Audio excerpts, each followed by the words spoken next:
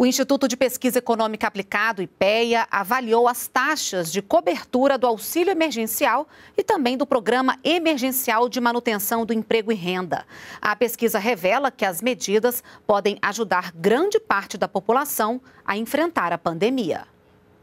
O estudo do IPEA aponta que 80% dos brasileiros estão em famílias que podem ter acesso a pelo menos um dos benefícios oferecidos pelo governo durante a pandemia: o auxílio emergencial de 600 reais ou o programa de manutenção do emprego e renda. A cobertura potencial é maior entre as pessoas mais pobres e as que trabalham nas ruas e praças, do que entre as mais ricas e as que já trabalhavam em casa antes mesmo da pandemia. Os outros 20% da população possuem uma fonte de renda estável Neste grupo estão os aposentados, pensionistas, servidores públicos e ainda quem recebe o benefício de prestação continuada. De acordo com o IPEA, os maiores grupos beneficiários do auxílio emergencial são os trabalhadores autônomos e os empregados do setor privado sem carteira assinada.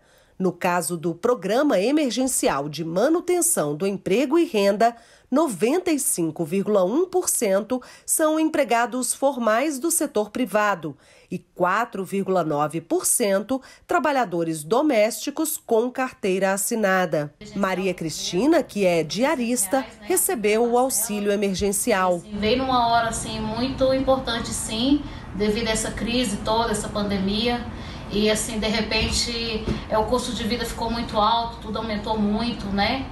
Então, assim, veio sim, numa boa hora. Mais de 50 milhões de pessoas, como Maria Cristina, já receberam a primeira parcela do auxílio emergencial. E a Caixa Econômica divulgou nesta quinta-feira uma atualização no aplicativo Caixa Tem. Agora o usuário vai receber um sinal no telefone quando estiver perto de ser atendido.